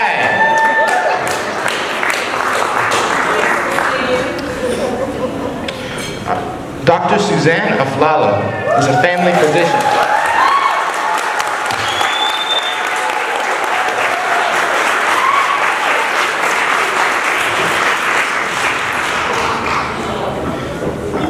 Dr. Aflalo is a family physician who worked at Kaiser Permanente as a partner of the Southern California Permanente Medical Group, or SCPMG, for 23 years and retired in 2015. She received her medical degree from George Washington University School of Medicine in Washington, D.C., and complete, completed her family medicine residency at Kaiser Permanente Center in Los Angeles. Dr. Aflalo currently serves as the medical director for the Alliance Health Clinic, which provides health care for the uh, refugee population and other minority communities. She also serves on many boards, including the county, uh, on many boards, including but not limited to the County of San Diego's Health, Service, Health Services Advisory Board. She's the vice chair there. The USD Chancellor's uh, Community Advisory Board, the SDSU Communities Fighting COVID Advisory Board, and many more. Over the past 25 years, Dr. Aflalo has spent most of her free time volunteering in the community, lecturing on breast cancer, diabetes, high blood pressure, heart disease, and other health-related issues, and most recently, the COVID-19 pandemic. She's very passionate about working specifically with minority, underserved, and under-resourced communities, educating, encouraging, and empowering people to obtain the best health possible. She has organized several community health fairs, done screening events at several barbershops and churches, and have recently partnered with the SB, or SDBNA, USC, USS, UCSD, and Champions for Health in organizing various COVID-19 vaccination events in the disproportionately affected minority communities. In February of 2017, Dr. Aflalo and a community partner organized a monthly community health and resource fair that brings several organizations together to collaboratively serve the, southern, the southeastern San Diego community. This monthly community health and resource fair has been providing free health screenings, mammograms, numerous, uh, or numerous sort, oh, sorry, numerous services and resources and food distribution for over 300 people each month for the past four years. I would like to invite Dr. Aflalo up to the stage to accept her award now. Heart Foundation for this wonderful award, the District 4 Game Changer Award. So wow, I'm so honored and just privileged to be here and to be uh, recognized and acknowledged for the work that I enjoy doing. My passion has always been to educate, encourage, and empower the people to obtain the best health possible. For over two decades, I've been educating this community. I don't even live in this community because I didn't know where it was when I moved down here. I'm a transplant from Los Angeles. But, um, I, but I have been serving this community, um, Southeast San Diego, for over two decades and I've really just been focusing my attention on the diseases that afflict our community, the black and brown community. And as he mentioned in uh, my bio, is mostly my focus has been hypertension, diabetes, heart disease, and obesity. Um, and that's been my bread and butter. But I have to say that back in March of 2020, um, my God assignment changed. I began focusing my energy and time on educating, testing, and vaccinating people against COVID-19. Unfortunately, we have all been dealing with the coronavirus pandemic for over two years, or almost two years, and it still continues to be a struggle. So keep up the fight. Um, those of you who know me know that i I was supposed to be retired in 2015, okay? That is no joke. I was serious about it. And um, so I left Kaiser in October uh, 2015, and that was after 23 years of service, and then three years of residency, so that's a long time, 26 years to serve one place.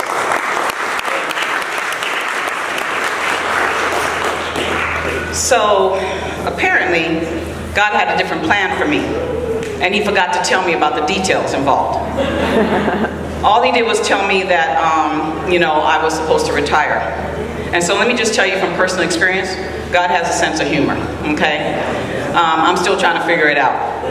When he told me to retire from Kaiser, I thought, you know, I started planning and, and making arrangements to like get some re relaxation and travel and work on my tan and things like that.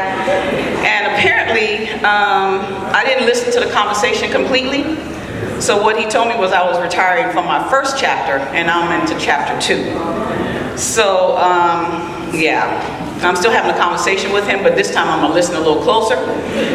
Um, so I'm, I'm, I'm really proud that he has chosen me to serve the community, to serve his people, to serve my people, the people that I identify with, the people I love, the people I'm on this earth to carry out. I mean, I was given an education and I could retire and just go off and be selfish, but really my calling is to serve you guys. And so with my heart, um, anyone that knows me knows I'm out there. I roll up my sleeves, I get busy. I don't dedicate uh, or designate anything to anyone. I do the work just as I ask anyone else to do the work. So um, I want to just say that I have lots of mentees in here that I'm grooming up so I can pass the baton on at some point in my life and I can really figure out what retirement looks like. Um, but in the meantime, I just want to say thank you to the Blue Heart Foundation. You guys do an amazing job with these young men. I'm so proud of you. Thank you, Tracy. Now you show up, right? Okay, at the end of my speech, right? And uh, thank you to District 4, the community. I love you guys, and I appreciate the, just the acknowledgement uh, for the work that I'm doing because truly it is a passion and my calling. So thank you. For a Game Changer Year Award, Justin. Jonathan Solomon.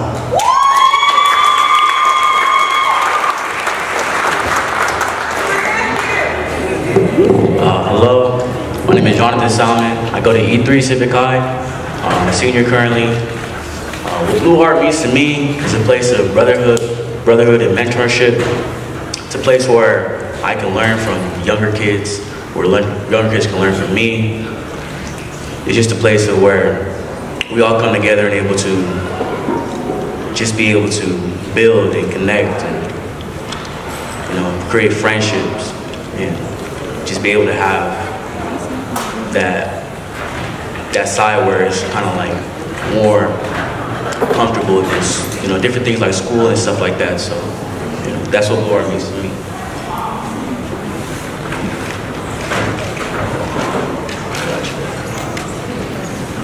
Correction, this is the Man of the Year Award.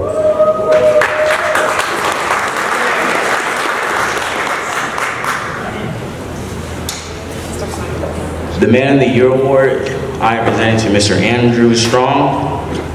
Mr. An- Mr. Andrew Strong serves as the, um, as the county's first director of the Office of Equity and Racial, and Racial Justice.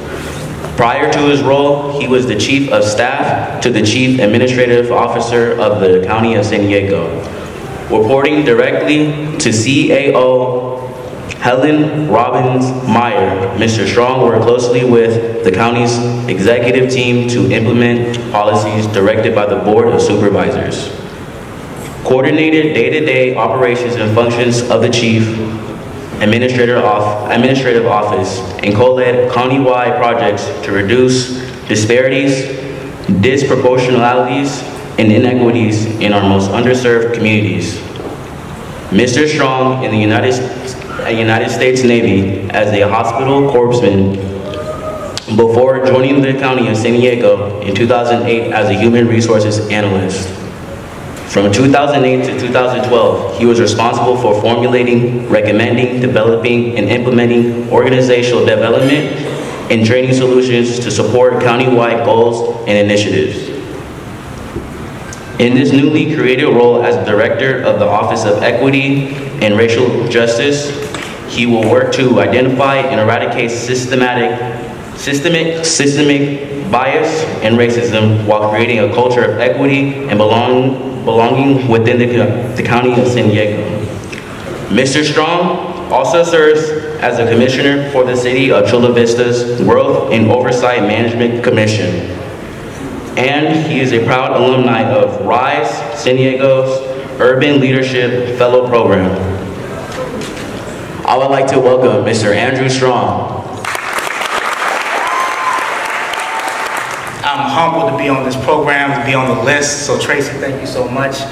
I mean, you are really, I think we heard from one of the mothers, you're pouring more into these boys, right? More into these boys and these men than you pour into yourself. And that is something, we're so thankful to you for that. Because you are really, you're literally changing the lives of these human beings, but you're also creating pathways of generational wealth, creating pathways of generational wealth for these youth. So I thank you so much. You know, being on the list with Dr. Starla Lewis, Mika, and some of these other life-changing individuals is immensely humbling. As the Director of Equity and Racial Justice for the county, I have a unique opportunity in this moment to really try to change the fabric of county government. I've been at the county for 13 years. I'm not from here, I'm originally from Shreveport, Bossier City, Louisiana. And um, I joined the Navy, spent nine years, got out, and decided to stick around. And I came into the county not as just an HR analyst, but as a non-paid student worker when I came into the county. And I, I've had an opportunity to move around in the county in different positions and really see behind the curtain of county government. Right? And what we don't realize too often as, as individuals in the community is that local government is probably one of the most important pieces of our lives that we have no idea about. They are literally making decisions about every single thing you do in your day-to-day life. And when I had opportunity to see behind the curtain, I realized there weren't a lot of people that looked like me that was making those decisions. There weren't a lot of people from District 4 making those decisions, right? So I started to really have and grow a passion to change the fabric of the county government, right? And what does that mean? Mean that means bringing people like you, right? People like the activists, like Mika, bringing those folks into county government to make the decisions about your lives, right? Because that's what's important. That's where the change really comes from. And I've always seen Blue Hearts, right? Blue Hearts Association is a great pathway, right, to bring in those young black men into county government after they go off to Morehouse College. Come back and be a director of child welfare services to make the decisions about that disproportionality of black youth and child welfare, right? To come in as probation, and be the probation chief, right? All those opportunities are out there for our folks, right? Um, so, I, so I have a deep passion about that. And being from Shreveport, Louisiana, not having that opportunity to have a program like this, and not having a leader like Tracy Morris, right, to be able to pour into me the way he pours into those boys. I applaud you, and I, I also applaud all of these, the winners today of the award, the awardees. Just amazing. I'm honored to be on that list, and I just want to say thank you, Tracy, and I'm humbled again to be on this list of awardees. Thank you. Administrator of the Year Award. It's going to be two awards. Jonathan Salmon, Devin Green.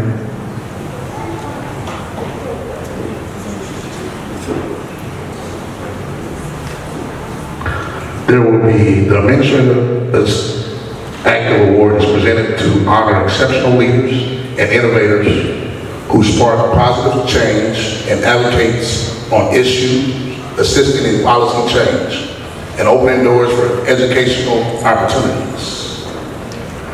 Jonathan Salmon, Devin Green.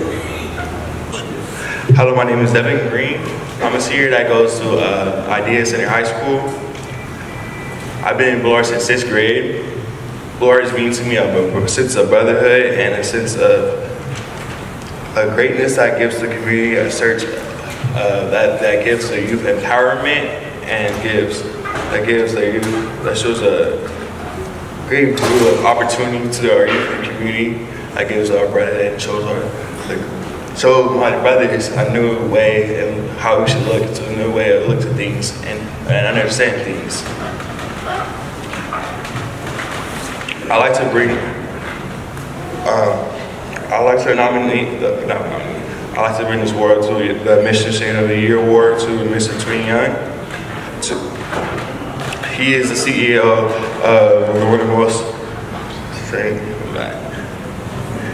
he's the CEO of one of the San Diego most public relationship firms, civil link strategist, and the firm's representative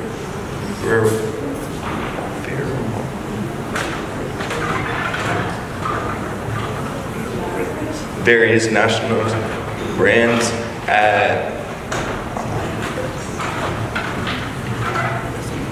national, statewide, federal levels. Mr. Young also created the nonprofit Rises, Rise San Diego's that, that is declared to urban leadership athletics, seven engagement in small businesses and nonprofits compatible and capacity buildings. In 2013, he was nominated appointed, to CEO of the American Red Cross San Diego and Imperial counties chapters under the direction of an organization that developed compatible to address the community's community-wide needs for a emergencies preparing and, and raise over eleven dollars in operating huh? uh, eleven dollars in operating venues.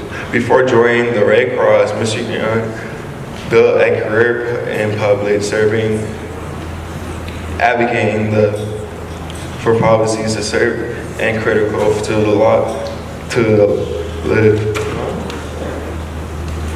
lies within the communities and public officers. In 2004, he was elected to San Diego City Council, uh, Council where he served in variety, a variety, a variety of leadership positions, including councilor president from 2010 communities. During his time of office, he demonstrated integrity, leadership, and commitment, commitment improving tracks and records to the residents of San Diego. Was selected by voters in the three separate landslide victories.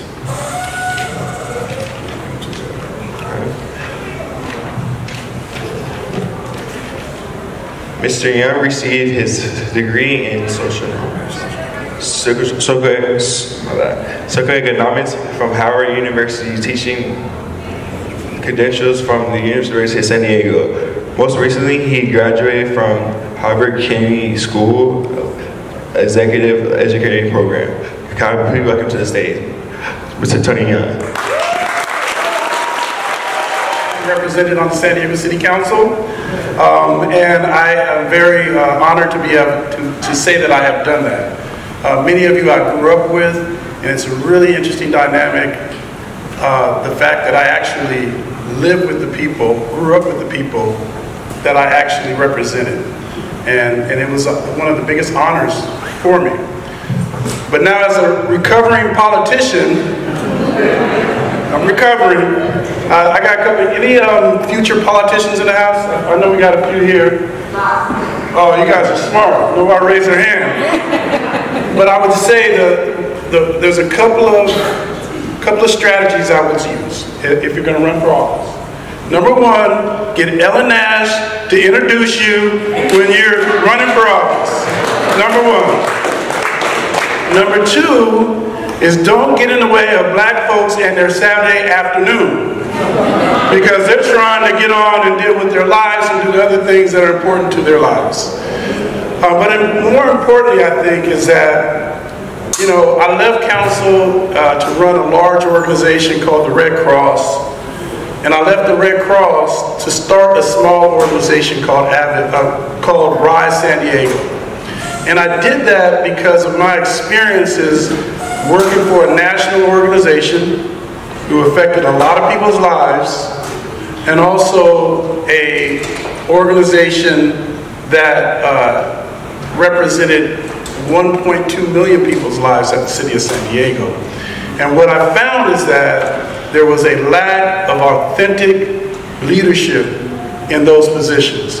There was a lot of ego there, and there was a lot of the, a lot of the leadership was it was really about themselves instead of the people that are around them. And the only way that we were able to find true authentic leadership in the places that I lived was for was it was when individuals did a, a real deep dive into really what their intentions are, who they are, and what do they have to offer through to the world. And so that's why we started Rise San Diego.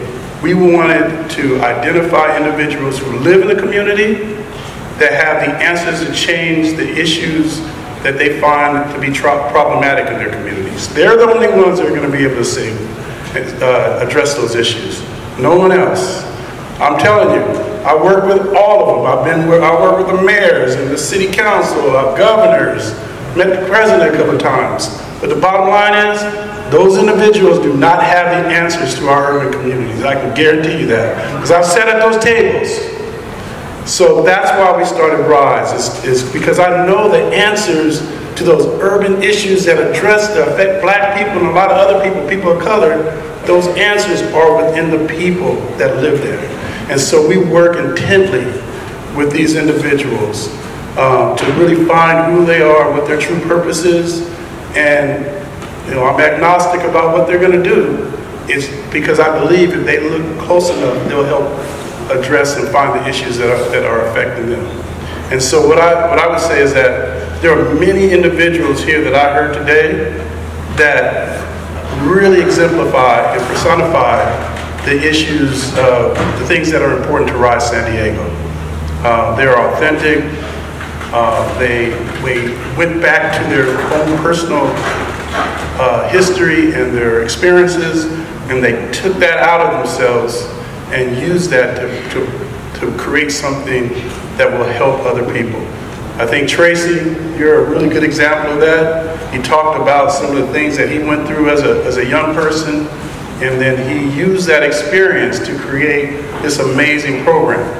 That's what RISE is about. Andrew Strong was a, a RISE fellow, and there's a few other RISE fellows here. I think we have any RISE fellows here? Could you raise your hand?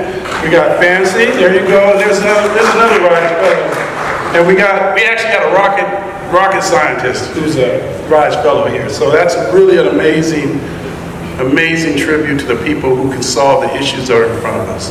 So thank you for acknowledging me and the work that RISE is doing, but more importantly, you know, I'm just really honored to be a part of, of, a, of a movement of individuals who really want to make San Diego and, and people of color, specifically black boys and men, better in this city. God bless you and thank you so much.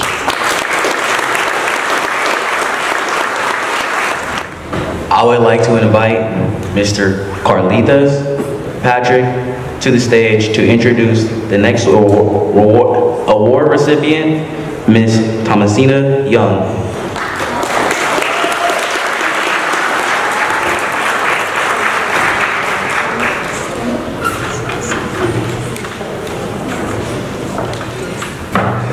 Good morning, family.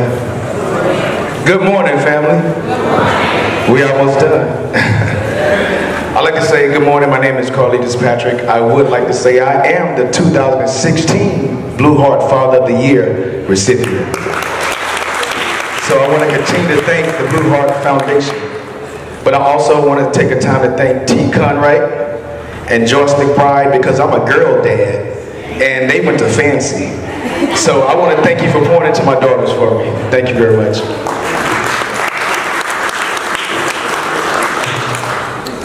Miss Thomasina Young, affectionately known as Miss Tommy.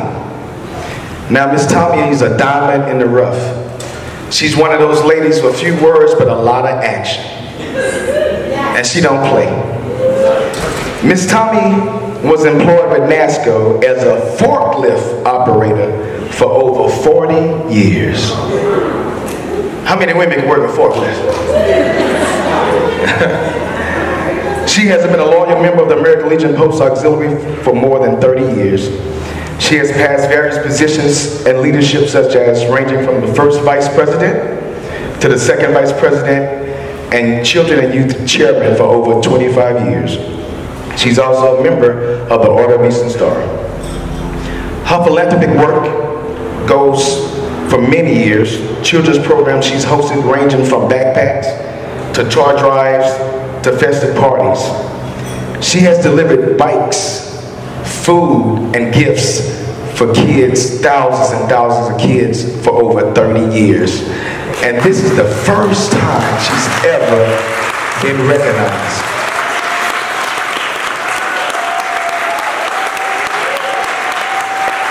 You know, it's always great to be recognized by us. And when us recognize us, then it means a little bit more. The outsiders don't see us bickering and fussing and fighting all the time. And you gotta really love somebody to go through that and still wanna recognize them for an outstanding job. So, over the years, she's gained so many friends and have happily donated to support her charitable efforts. She is thankful and supportive for the community who's uplifted her legacy. She is a pillar of strength and resilience and kindness. Her children and family are proud of her and celebrate her accomplishments with great reverence. Congratulations, Tommy, on your accolades. At this time, I'd like to have the commander of the American Legion Post Escort, Miss Thomasina Young. I want to appreciate the American Legion and my family for having my back every year. I want the American Legion and my family to please stand. And the Aunt Girlie. Thank you very much. God bless you, and I love you all. Have a nice day. I now want to invite Heart Senior K1 to the stage to introduce the Legacy of the Year Award.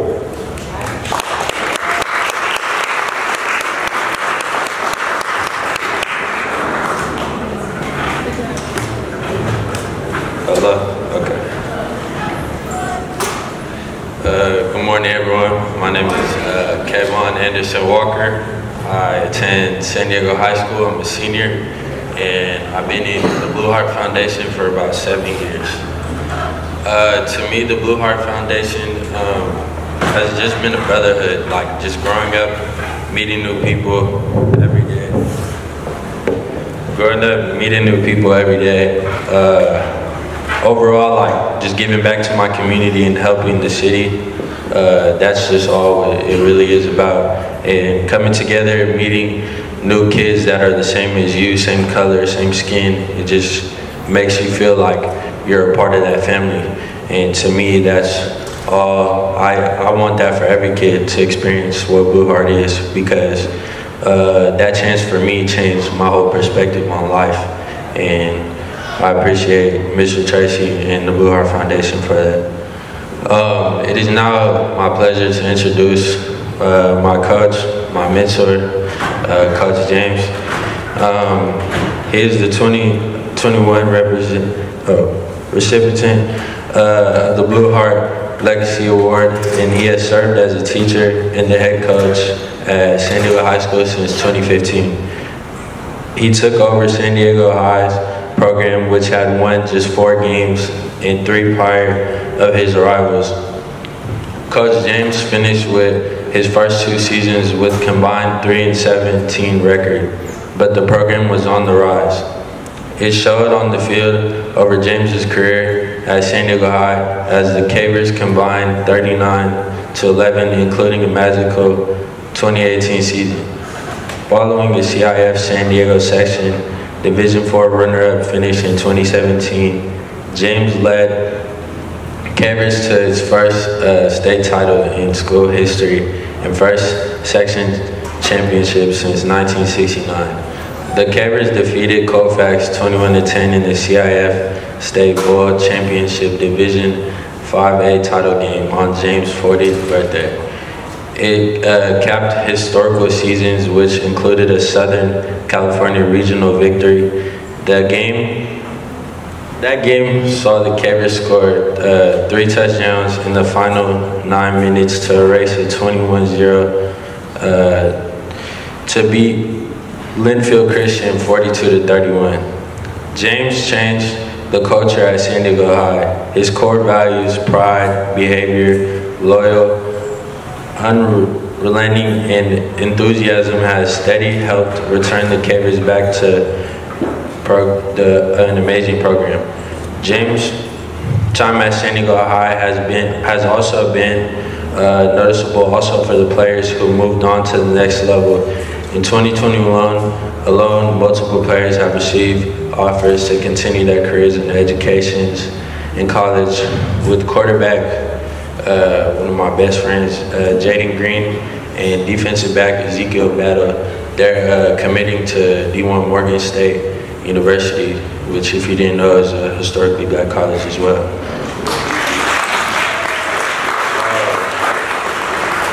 Previous years have been uh, similarly the same. Noticeable recent alumni is under James' influence. Raiden Hunter, uh, he's a running back at Idaho State. Jaden Wickware, he plays at Princeton. Uh, Charles Johnson, uh, he plays at Southern Utah University, and Josiah Johnson, which he also used to be Blue Heart. Uh, he's at Oregon State right now, and many other more, and future more to come.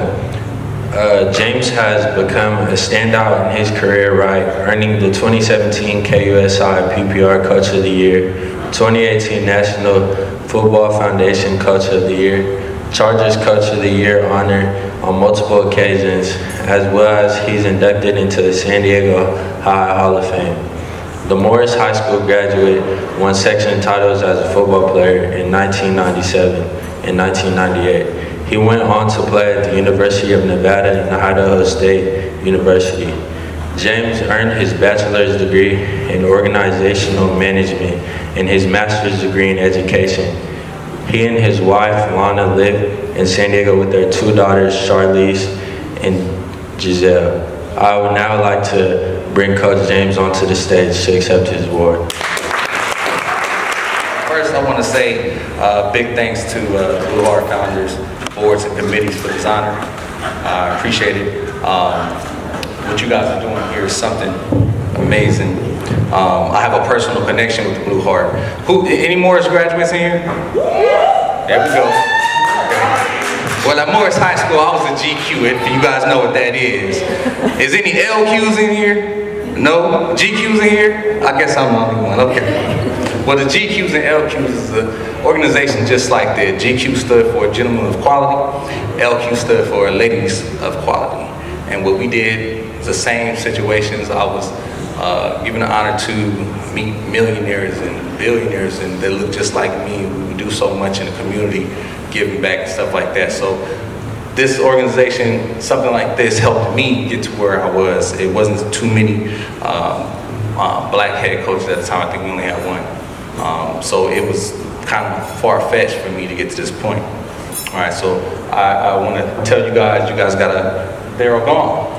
okay, okay. They, they have a, a great thing going on right here. Um, seeing some of these uh, other people that got their awards, um, I mean, I, I'm, I'm, closing out the show. I feel like Tito Jackson closing for Michael Jackson out here. There's a lot of great people here. Miss Starla Lewis was my own professor in college, um, and I I took all her classes. And in my first class that I took with her, she gives everybody's opportunity and she has this, she has this aura about her where you can't lie. You just gotta give it to her straight. So at the end of this class, she said, uh, she told everybody, she said, what grade do you think you deserve? And I'm gonna give you that grade. And she came to me, she said, Charles, what grade you need to get? I said, is this a trick question? uh, and I said, let me think about it. So everybody's giving it. I said, you know what? I didn't work hard, give me a C. And she said, okay, I'm gonna give you that C. And that was the last C I got in her class. I went straight A's and I took everything that she told me serious. I learned so much from her. And um, I know she took, taught a lot of us out here in San Diego. She did so much. But without her even going through football, I would go talk to her about decisions and things that I had to prepare for when I got to the next level. So, Mr. Lewis, thank you. I'm so honored to be honored with you right now.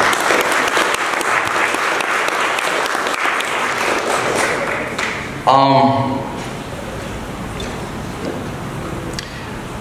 I I have a lot of my boys um, in this program um, year after year. Sometimes we don't see eye to eye because during football practice in 707, sometimes Blue Heart has events too. And I'm like, what you mean you gotta go to Blue Heart? We got a game we going on, you know? But I know what the seriousness of it is and, and, and um, what it would do for them outside of football. So I always uh, agree for them to do the Blue Heart events. I'm not too easily inspired um, by coaches that come talk to me because they just want my players. And so sometimes I'm like, ah, okay. Um, but last week I got, I just want to share a story with you guys. Let me get out of here. Um, last week it was a coach that came up and I got so inspired by this coach. And he said, he's from Tonga. Right, I'm saying that right. He's Tongan, all right?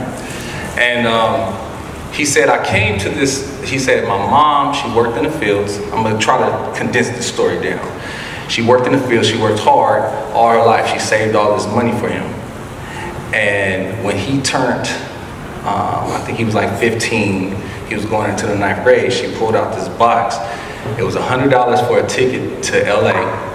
And I think she had $500 saved up. And she told him, I'm gonna send you to LA and um, you're gonna live with your uncle. So he goes down there, and he says, oh, she said, you can't I'm not gonna have you work in the fields like I did my whole life. She sent him to LA. His uncle was a drunk, um, left him in the airport. It was a bad situation. Um, And um, he said he just knew he had to get to college. So he goes to the counselor, he beat on his chest and he goes, college, college. And the counselor goes, uh, college? So she goes, what's your name? He tells her her name. She said, uh, you're not gonna get there with the academics. So she took him to the football field and he's this big guy. She said, she pointed to the field. She said, college, that's how you go. so he goes, okay, I didn't, never played football. I didn't know how to speak English. I didn't know how to do any of these things. The football coach comes over and he goes, yeah, yeah, you can get to college like this. So they went to a SC game. He says he's never seen a football game before, an American. He said the bands and this white horse. He said, I tripped out on this white horse. This white horse came out, and the Trojan guy came on and put the sword in the ground. It was great. I said, I'm going to SC. He said, I didn't know anything about SC. I didn't know nothing about SC. I didn't speak English, but I said I was going to go to USC. And I said, uh, and so he goes, okay. So he told all his friends and family, he said, I'm going to SC. He said, everybody said he couldn't do it, he couldn't make it. And um, that was just an ongoing thing. I'm going to SC, I'm going to SC, I'm going to SC. So he had to go to a junior college at a high school. So he goes to a junior college. He did okay his first year. His second year, he was the number one D in the country. So he gets all these offers from everybody. And they go, hey, um, we want you at Tennessee. We want you at Oregon. He said, with all due respect, coach, I can't take that because I'm going to USC. And everybody's like, you're to give a full ride? SC hasn't even called you. So he goes up to USC. And SC, if anybody ever been to a USC practice facility before, it's okay. They, it's barricaded. They got police there. You can't have your phones out. It's real hard to get into. So he goes there, and they wouldn't let him through the wall. He said he jumped over this wall, and this wall is over 10 feet tall to get in. So he jumps over the wall. Security guards there, and they rough him. He said, "Listen, y'all want to make it home tonight, let me go, because I'm going to get on this team."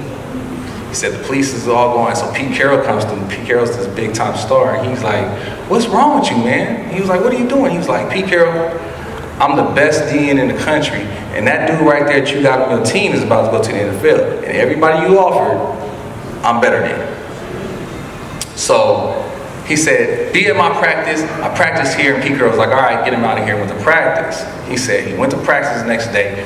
Three cars pulled up. Pete Carroll got out the car. I'm like, this is amazing. This is crazy. So Pete Carroll goes there, watches him practice. Three days go by, and SC offers him. Now the funny thing is, before that story, his family, and this is the crazy thing, his family made a fake letter and said that he got offered. This actually happened. He fought till he got there. Then he went to the NFL, went home. His mom used to go into these fields where it's all these uh, uh, flowers, beautiful flowers. She used to just go sit. He bought the land. She didn't know. He put a big old house on. She said, somebody bought this land and. He said, this is your house, mom. So he went to the NFL, came back, bought his mom's house. Never spoke English in his life. Never seen football. It's the most inspiring thing I ever heard. After that, I started thinking about what's my next step in life because I retired. So I just took a job um, for CIF, and some of you guys might know it's not too many look like us in there. But I took a job last week, so I'm going to be working for CIF in San Diego and helping other kids, and they're working with me to um, do outreach programs for the kids and giving them a voice. Um, some things behind the scenes that you guys don't know about, how divisions are made and so forth of how certain kids in our area we get the bad um, end of the stick. So they're bringing me in to change those things. And that's the next step that I'm gonna take. But I was inspired because I didn't want to take that job at one point because I'm a teacher now and I'm teaching at San Diego. I said, but I, I, I, I take it as a mission.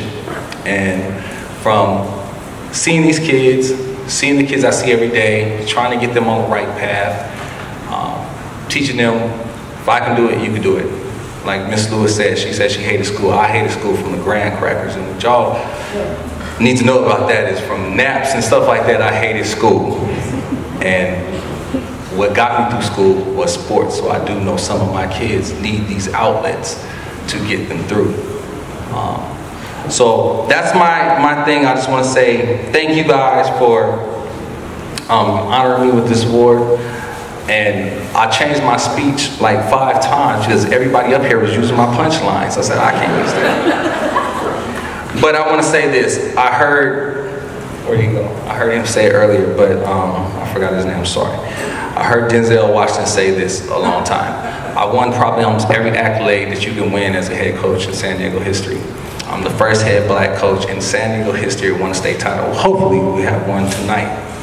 Um, I won almost every accolade. And when you're out there and you see this sea of people and they don't look like you, I appreciate everything. But when you come out here and you get it from your own, it means a little bit more. So I understood what you said. I understood when Denzel said, this BET award is better than the Oscar. Now, I, I, didn't get it then. I said, what you talking about? But now I get it. When, you, when, when you're recognized by your own kind, you feel that uh, you're doing the right thing. So thank you guys. I know we've been here all day. I don't want to keep you too much longer. Thank you guys. I appreciate it. Blue Heart Foundation. Thank you.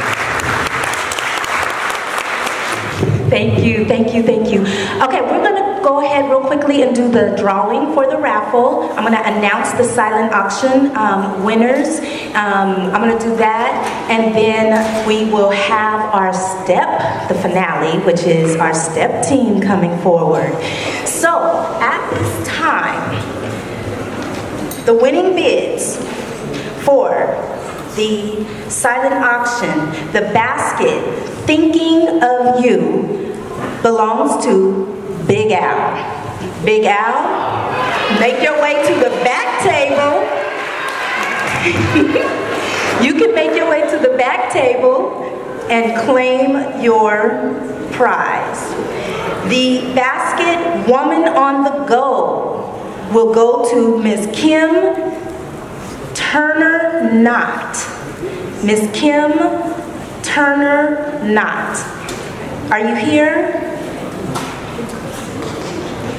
Miss Kim Turner Knott is the winner for the Woman on the Go basket.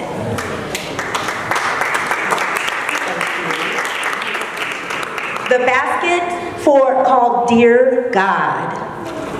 The winner for this basket is Mr. Carlitos Patrick. And last but not least, the basket Pink Power belongs to me, Tammy T. Yay! Um, can I get one of the boys to take this, take these sheets back to Carol so she can go?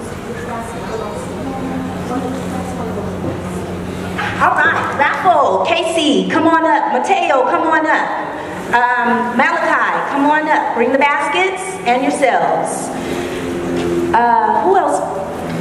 Jeff, who else is helping you guys? Michael, where are you at? Come on up.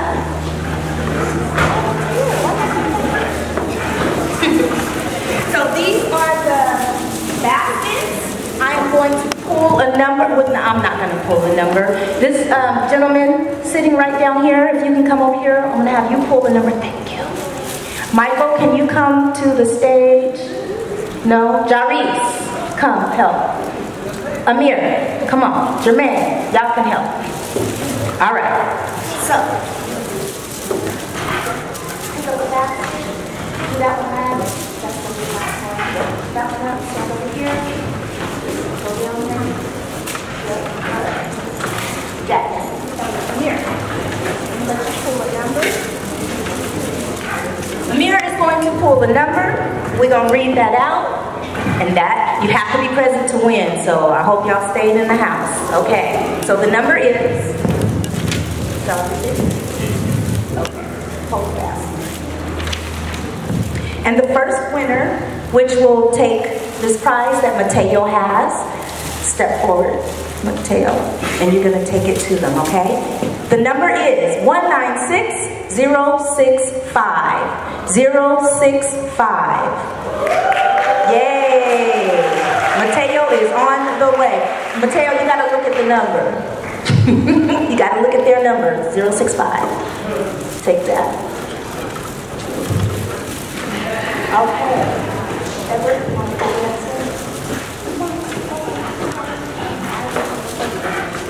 And the next one, Mateo, uh, Edward just pulled, is 196 363. 363. 363. Going once? Yay, okay. So take this basket. Casey is going to bring you a beautiful basket. Okay, for the next one. And the next number is 196 285 285 285. Yay! Got that? Okay, so take that number, make sure it's the right number. 285. The next number. Oh, they said shake up. Well, this is cool. We'll shake for the next. Um, 150, 196, 150.